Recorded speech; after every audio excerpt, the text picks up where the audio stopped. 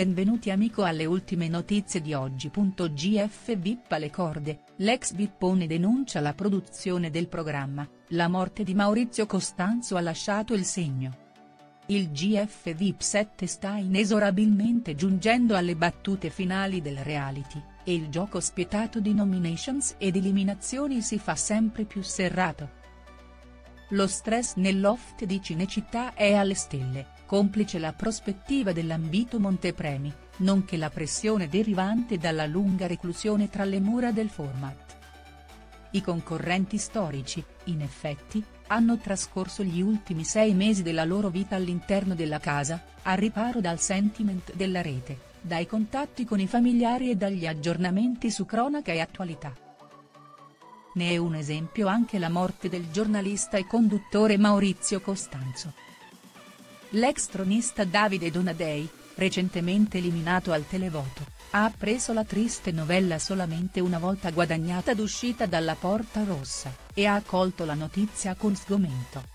Davide Donadei ha presenziato al dating show Uomini e Donne nella stagione 2021-2022, militando per molti mesi nel parterre mariano, e ha sviluppato un rapporto di stima ed affetto con la conduttrice del programma. Per tale ragione, ha rivolto agli autori del GF VIP una recriminazione velata, ma che induce alla riflessione. GF VIP, Davide Donadei piange Costanzo.l apostrofo. Secondo quanto riportato da Anticipazione IF, ha esordito, la redazione di Uomini e Donne è come una famiglia per me. Punto Davide Donadei ha inoltre aggiunto, quando ho saputo di Maurizio Costanzo, mi sono domandato, perché non hanno detto nulla? Ha poi argomentato, in puntata, sicuramente una frase rivolta a Maria ci sarebbe stata, visti anche i rapporti di noi con i suoi programmi. Tanta gente, se lì, deve dire grazie a Maria. Mi è dispiaciuto molto.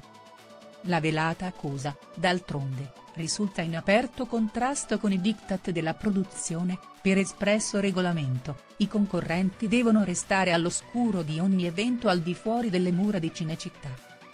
Al tempo della prima ondata di Covid-19, però, il conduttore aveva compiuto in via eccezionale un'incursione in casa, informando il cast della gravità della situazione. Pur non interrompendo il format, infatti, gli autori hanno ritenuto doveroso comunicare ai Vipponi la delicata situazione sanitaria.